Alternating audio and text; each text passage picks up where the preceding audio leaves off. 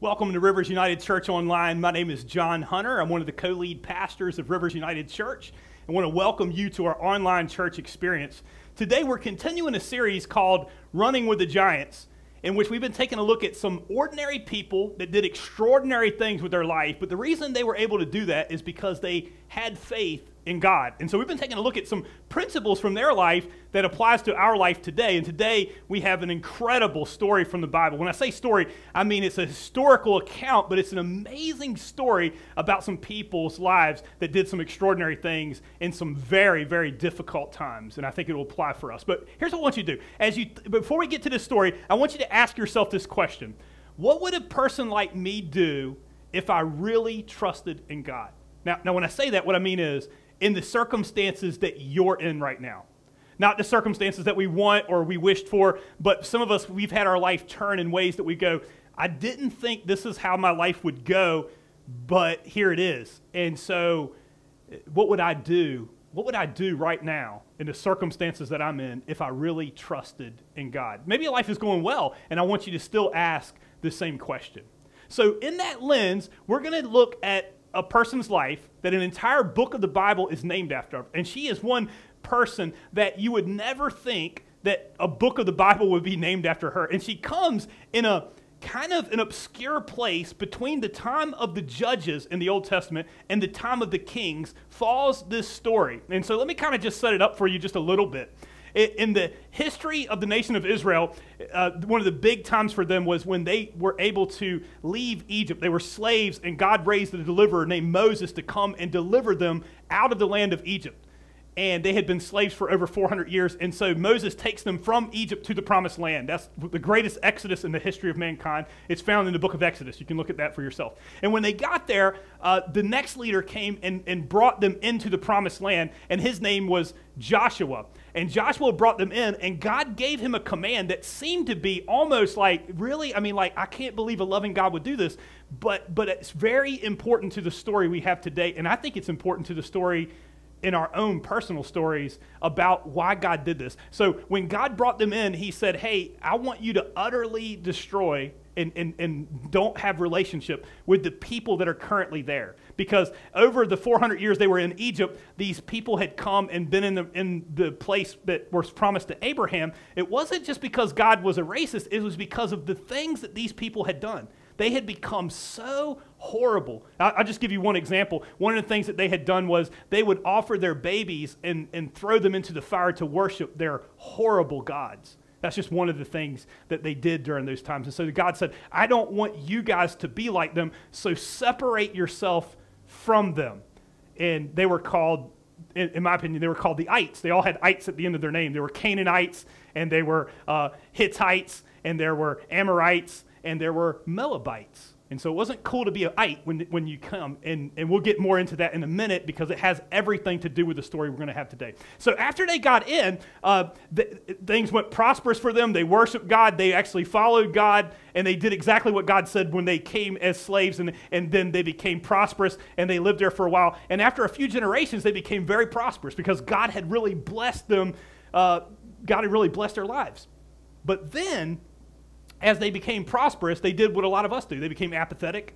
They became where they decided that, hey, they weren't as grateful for what God had done, and they started to say, hey, we did this. And later on, they started to say, hey, does it really matter if we intermarry with the ites? And they did. And then what happens is, is then they would start to worship the other gods that were in their land. And, uh, and so instead of worshiping the true God, they would worship uh, the other gods and stuff like that. And so then what would happen is the blessing of God came off of them and other nations would rise up and then they would come and beat them up or take them as slaves. And then and then in their humility they would cry out to god and say god please deliver us. And god would raise up a deliverer and they called them a judge. And that's really where this story comes. And they repeated that cycle for hundreds of years. And right in the middle of the time of the judges comes a story that links the time of the judges to the time of the kings of israel and it's found here in this story. So let me just tell you about this family, okay? Because in the book of uh, Judges, it's like a historical narrative, and you're following a chronological order, and then all of a sudden you get to a book that's just about a family's life. So let me tell you a little bit about this family. And the family that I want to tell you about today, they came from Israel when Israel was having a famine and they were going through a hard time and didn't have enough food. And so they knew that they needed to stay in Israel, but they didn't quite have enough faith. And so what they decided to do is, is I know what God says but we're going to leave Israel and go to Moab. And in Moab, they have Moabites. And God said, Don't do that. Remember, I said? He said, Don't go there. But they decided to do that. You ever done that in your life? Where it's like, hey, man, I know what the right thing is to do. I know what it is that God says to do, but it's really kind of hard. And so you kind of justify it and say, well, yeah, I know what God says, but if you ever find yourself there, that's a really tough place to be. And I'll challenge you with that today. I've done that many times in my life. One of the things that I struggled with the most in my life was my finance. That I would always try to get out of debt, but then when I did and I, and I started to get a little bit of money or I got credit and stuff, I would just go out and spend and spend and spend. And I knew that wasn't what God wanted. And then in order to get out of debt, then I would get more debt and more debt, and it never helped. And I think that's exactly kind of the place they found their self at was, was doing that. And so they go there to make their life better. And it ends up being that their boys, they, they had two boys. It was a man and a woman. And, and the mother's name was Naomi. And we're going to focus on her a little bit today. And she had, they had two sons. And, and they went there to get prosperous. And then, right in the middle of being there to try to make more money, both the husband and the boys died. And it left Naomi with two daughter in laws. And she's like, you know, things went from bad to worse, right? Hey, we thought we were going to go here, and even though we weren't doing what God said, we were trying to make it better. And now life has went from bad to worse. What do you do when life goes from bad to worse? I have a feeling somebody, that's where you're at today. That's where I've been at in my life. What do you do when things go from bad to worse? So she told her daughter in law, she said, Hey, here's what I want you to do. Go back to Moab. I'm going to go back to Israel but I want you guys to stay in Moab. I got family there and they'll take care of me. But here's the problem you have no idea. You're an ite, right? You're a Moabite. And the problem is this eh, you, you have no idea what it would be like to be a Moabite in a Jewish world. You, you don't want to come back with me, okay? So go back. And one of the daughter in law said, I love you, Naomi, but she went back to be with her family.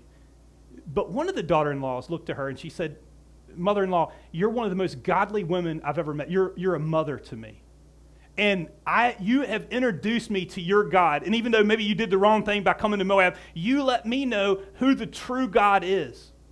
And I don't want to change that. So here's what I want to do, and I'll show you this in Ruth chapter 1 in verse 16. This is the daughter in law Ruth. She said, But Ruth replied, Ruth replied, Don't urge me to leave you or to turn back from you. Where you go, I will go. Where you stay, I will stay. For some of us, we know that from a praise song that we sing. If you, if you come to our services, sometimes we sing this Where you go, I'll go. Where you stay, I'll stay. That's where we get that song. You might not have known that, but I just wanted to make sure uh, you know that. Where you go, I'll go. Where you stay, I'll stay. Your people will be my people. Your God will be my God. In that moment, these two ladies made a decision. They said, Hey, look, I don't know what the future holds.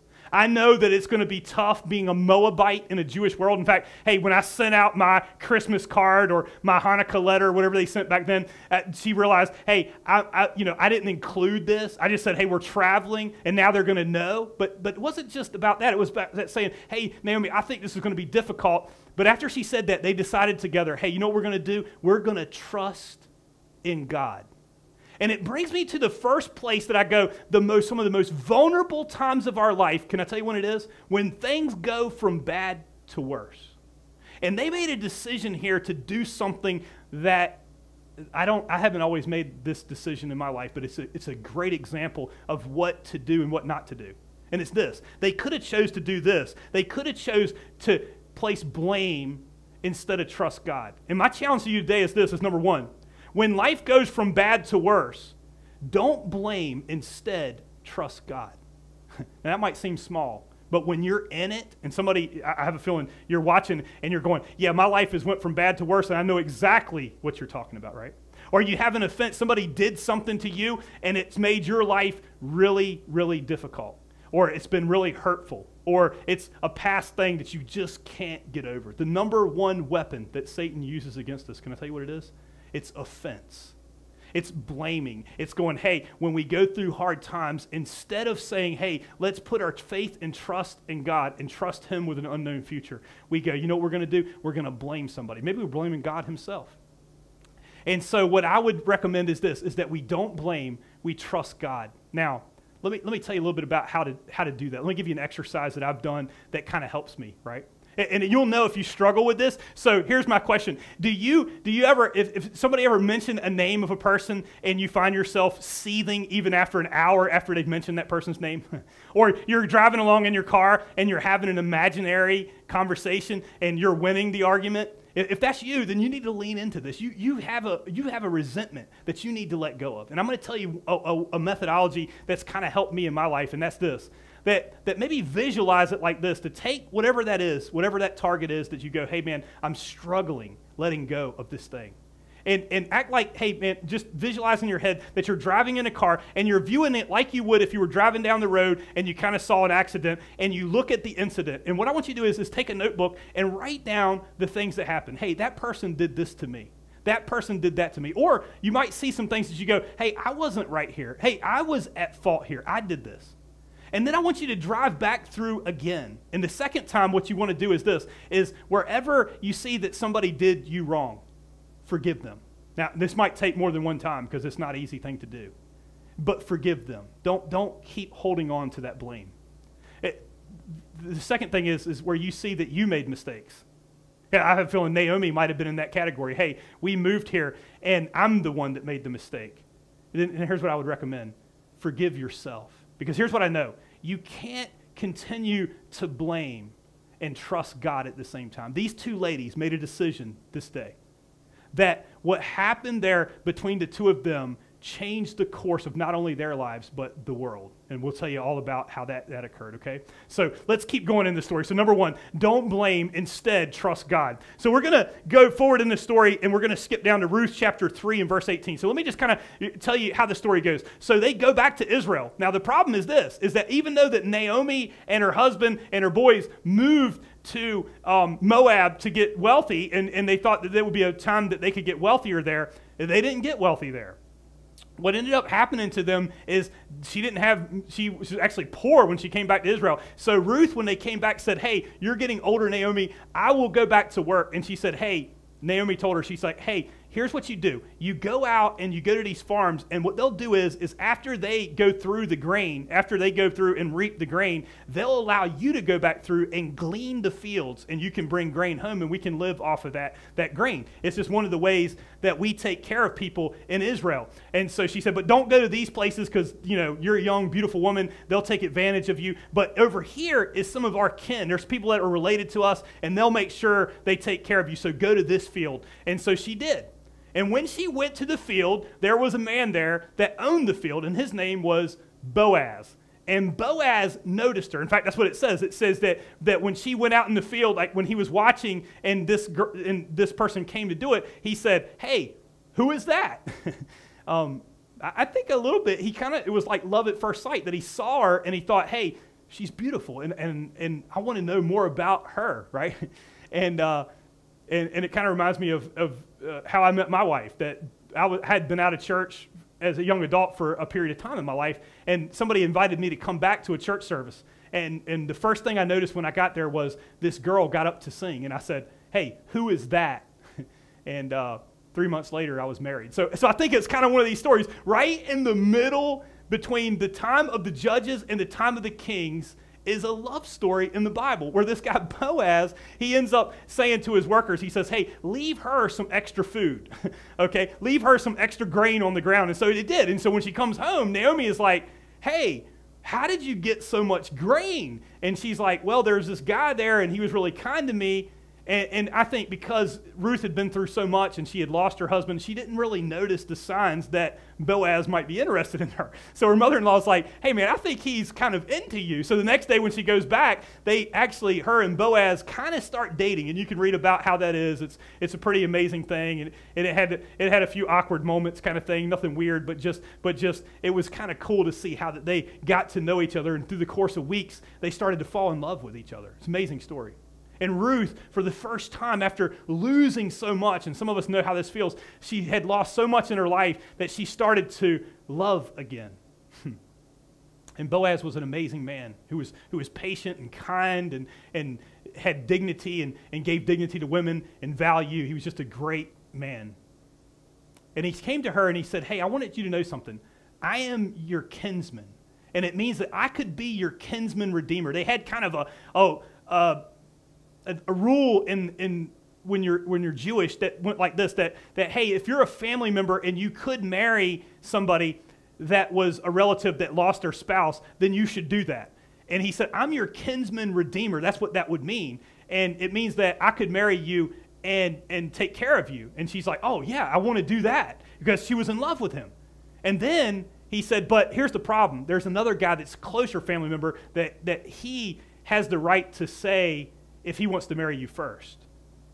And, and it's one of those things that I don't know if you've ever had a moment like that in your life where you, you thought, hey, you're, you have been so down for so long, and then there was a little bit of hope given to you, and now it's in turmoil. It doesn't mean that it's not going to happen. It means that you have to wait and see how this thing kind of plays out. And she comes home frantic, and she comes home to Naomi, her mother in law, and she says, Naomi, this is, I just can't believe it. Boaz loves me, and we want to get married, and, and it's just not going to work out. And what do we do? And I want to show you what Naomi says. Naomi says this. Then Naomi said to her, Wait. if you're able to take notes and you can circle this, I would recommend circling the word wait. She says, Wait, my daughter, until you find out what happens. For the man will not rest until the matter is settled today. Naomi is given some of the best advice. You see, in, in the first chapter, Ruth gave her mother in law some advice, and they became this bond where they said, Hey, we're not going to blame, we're going to trust God. And they did. But now it's Naomi's turn, and she's pulling off of her wealth of knowledge. Some of us, as we get older, we've done that, right? We've rushed into things. And what she's saying is this, is she's saying, hey, if this man is serious about you, he's going to make this happen. And, and ladies, that's what I want to tell you. There's a lot of times when it comes to relationships that we try to force it. And I want to tell you, this is just kind of a side note, but it is so important that here's the thing. If you have to force it, God is not in it. Now, I don't mean there's not hard times. I don't mean that we don't strive and, and do. But here's the thing if a person isn't trying to make it and you go, yeah, but I know that this isn't the right thing or I know this isn't the legal thing, but, right? What, what we're saying is, is not that it's a no, we're saying wait on God. In fact, that's what I want you to write down. Number two, what do you do when you are waiting on God's blessing? When God's blessing is right there and you feel like forcing it, and coming from Naomi, she's saying, Don't try to force it. We did that. We went to Moab thinking that. And yes, we got you. And yes, we worked it out. But we lost so much. And we miss God's blessing. The place you want to be is not just physical prosperity, but the true blessing of God doing things God's way. What do you do? Don't rush. Instead, trust God. Don't rush. Don't try to rush God. By the way, you can't rush God, you'll mess it all up. In fact, in the, in the book of Isaiah, Isaiah chapter 40, and I, and I got a verse for you Isaiah 40 and verse 31, if you want to write it down. It says, But those who wait on the Lord, that's what it says in the King James. In the, in the new, uh, new International Version, it says this it says, Those that hope in the Lord. The meaning is the same. Those that hope, meaning you're waiting on God's blessing. Wait on the Lord. But those that wait on the Lord shall renew their strength. They shall mount up with wings like eagles. They shall walk and not be weary. They shall run and not faint. you want the strength of God? You know what you got to do? You've got to learn to wait. And that's what they did. That's huge. So let me tell you how the story goes when you wait on the Lord. It goes like this. So Boaz took Ruth and she became his wife. And when they and she became his wife. So he had went to the other man, okay? And the other man said, Hey, I know I'm the next in kin, but I have enough wives and I can't take on anymore. So could you do this? See how God works that out? And then he marries her, and it says that, he be, that she became his wife. This is huge. And when he made love to her, this is a love story, man. Don't, don't miss this part. It didn't just say, hey, he had sex with her. It says he loved her. It was not forced, it was romantic. They waited on God's timing, and it was a loving, pure relationship. Now, I want to say something here and say this. If you've messed up in your life like many of us have, then here's what I would like to say that doesn't mean that God can't redeem the time. What I'm trying to tell you is, is wherever you're at, allow God to do a work in your life. And as you wait, enjoy the time that God is giving you. It's absolutely amazing. Let me, let me show you what else happens. The Lord enabled her to conceive, and she gave birth to a son. And the woman said to Naomi, Praise be to the Lord who is this day has left you without a guardian redeemer. May he become famous throughout Israel. He has left you with a guardian redeemer. Uh, let, me, let me just say something here the ladies that, that Naomi was so worried about when she came back, you know, the judgmental people that she thought would be like, hey, I, you know, how does Ruth go, how does Ruth get here as a Moabite? That didn't exist. And I want to pause here to say, ladies, you have no idea the power that a group of ladies has. I, I see it in church all the time, church ladies.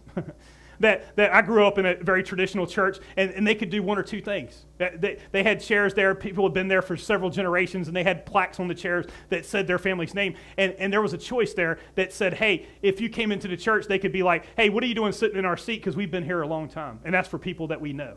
Or they could kind of move down. Sometimes it was just body language. Ladies, I just want to tell you how much power there is. And in this moment, these ladies chose to encourage Naomi. Let me tell you what else happens. He will renew your life. This is what the ladies are saying to her. And sustain you in your old age. For your daughter in law, who loves you and is better to you than seven sons, has given birth. Then Naomi took the child in her arms and she cared for her, for him. and the women there said, Naomi has a son, and they named him Obed. I'm going to pause there. Naomi has a son. You know what that means? Naomi's not related to her biologically, it's not important. Sometimes we put too much emphasis on that. You see, Naomi could have gotten stuck back there when we talked about blame. If she had gotten stuck in blame, you know what would have happened when this moment came where she could have invested in the life of Ruth, who is not her biological child, she would have missed it. Because I've, I've got stuck in grief. And I'm being careful how I say this, but some of us, we've had tremendous loss. And I know there's a grieving process, and we want to help you as much as we can. But one of the things I want to say is don't let your grief keep you from loving other people and keep you from the purpose that God has. Because of this, she was able to have a grandson, even though it wasn't biological, from her daughter in law. Because these ladies made a pact, this day came. It's absolutely incredible. and everybody was celebrating with them. I want, you, I want you to see this last part, though. And they named him Obed and he was the father of Jesse, the father of David. You may not realize how important this storyline is. But the great grandmother of David, oh, by the way, David is the greatest king in the history of Israel. That's why I say it links the time of the judges to the time of the kings, is found this story. And when everybody else got it wrong, Ruth and Naomi got it right. They placed their faith and trust in God. And you know what? God blessed them with the greatest king in the history of Israel that came from them. the last thing I want to tell you is this is be careful during the times of prosperity. The entire book of Judges is about people that when they were down and, and it was hard times, they would call out to God. But when they got prosperous, they would turn against God. And the only people that didn't do that, and God blessed them amazingly, even during times of prosperity, was Ruth and Naomi. Can I tell you what to do? You're never more vulnerable than when you're on top, when God blesses your life. What do you do after God blesses you? Don't forget. Instead, trust God. It, it, don't forget. Instead, keep trusting in God. Don't let you don't trust in prosperity. Trust in God is so much more important because prosperity will come and go. I want to add one last piece to this story before we wrap up and pray today, and that's this. Why did Boaz marry Ruth? Or, or one of the reasons why I think that he did. Why was he open to marrying a Moabite? Boaz was one of the most upstanding people in Israel. He was wealthy, he came from a prominent family, but he was willing to marry a Moabite. Now, first off, I want to tell you that, that, that being an Israelite wasn't just about being the actual physical descendant of Abraham, it had more to do with your faith than it did that. The reason why God said don't marry the ites was when they didn't place their faith and trust in God. But when they did, they could become Israelites. And Ruth became an Israelite that day. But why was he open to doing that? And I think part of it is, is from his own heritage. I think it came from his mother. So let me tell you a little bit about her story. When I told you that Joshua brought the children of Israel into the promised land, there's a piece that I didn't say, and that is the first city they came to was Jericho. It's one of the most fortified cities, one of the most wicked cities that has ever existed in the history of mankind. And in that city was a prostitute. And when he had sent spies into the city to spy it out before they came in, that prostitute prayed to God and said, Hey, I know the Israelites are coming and I know they're going to destroy us. Would you save me? And he sent the spies to her, and she helped the spies escape from the city. And because of that, they allowed her to escape when they came in and destroyed the city of Jericho. Her name was Rahab. And Rahab married a man named Salmon, who was an incredible warrior in Israel. She, she didn't just get free and, and go back to a bad life. What happened to Rahab was this she went from being a prostitute to being an Israelite, a chosen person of God, and she lived there. And Salmon and Rahab had a son, and his name was Boaz. You see, Rahab was a Canaanite. And I believe that she instilled in her son, I think she said, let me tell you something. There has nobody been around like Rahab's been around. A prostitute in the most wicked city that's ever existed. Yet God could redeem her and make her one of his chosen people. And I think she told her son, don't ever judge a book by its cover.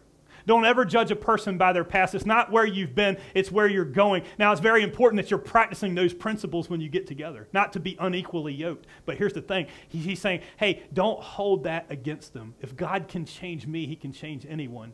And you know what? It led to one of the most incredible love stories in the Bible that produced an incredible family. and in that line, you know who came? King David. That's what it says. I want to give you one other thing of where you find these two ladies at. It's in the book of Matthew.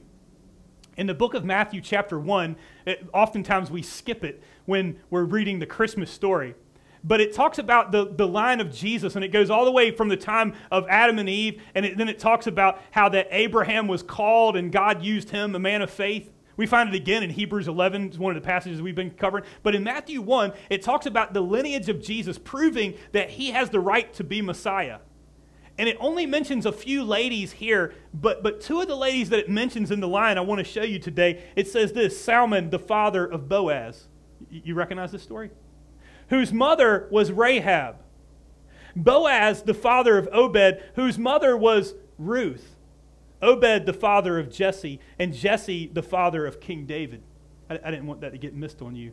In the very lineage of Christ, two ladies that were not Israelites by birth, but because they were forgiven by God and brought in, and it changed their life, and they got to choose to be an Israelite. They got to choose to worship God. Two ladies that were ites a Moabite and a Canaanite living in a Jewish world, yet God used them to raise up one of the most incredible families in the history of Israel, King David, who they said his, he will sit on the throne forever. And you know how he does that?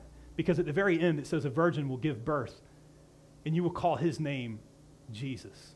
This is his lineage.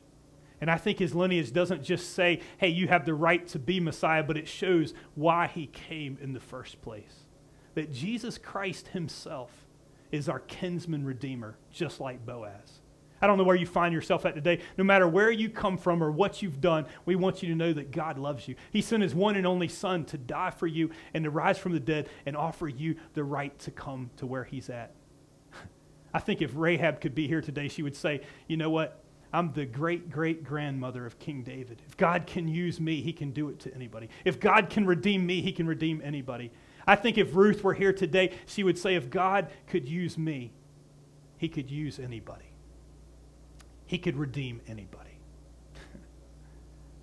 I want you to know that today. And the question I want you to end with today is this What would you do if, you, if, a, if a person like you really trusted God? What would I do if a person like me really trusted God in the situation that I'm in? I hope you'll pray with me as I pray. Let, us pray. Can I pray for you? Father God, we come before you today, and Lord, uh, this is an obscure story that is so powerful, and I'm so glad you included it. God, I'm praying today, Lord, for the one that is going through the hardest of times. God, I pray for the one that maybe, maybe they're feeling like they just need to blame. Maybe they've truly been hurt. And I pray, God, give them the ability to forgive today so that they can place their trust in you and that, God, you can take them to a different place, not full of regret and resentment, but freedom and purpose. God, I pray for the one that's in the course of waiting right now. That, Lord, they got this thing and they're going, I could do it in a not right way, but you're asking them to wait to see your power. I pray, God, give them the courage to wait and see what you can do. God, I pray for us that have been given more than anything we can believe. Sometimes we don't even realize how much we have until we see some of the places in the world where people are so hurt. I'm praying for us, God, that during times of prosperity, that instead of turning back to an old lifestyle, we'll take the example we saw here today and we'll trust in you. God, I pray for the one that doesn't even know you as Savior, that today is the day that they would place their faith and trust in you. They go, you know what? I don't know about this God.